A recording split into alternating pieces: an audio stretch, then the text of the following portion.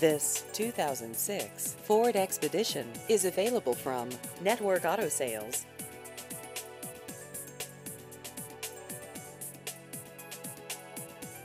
This vehicle has just over 119,000 miles.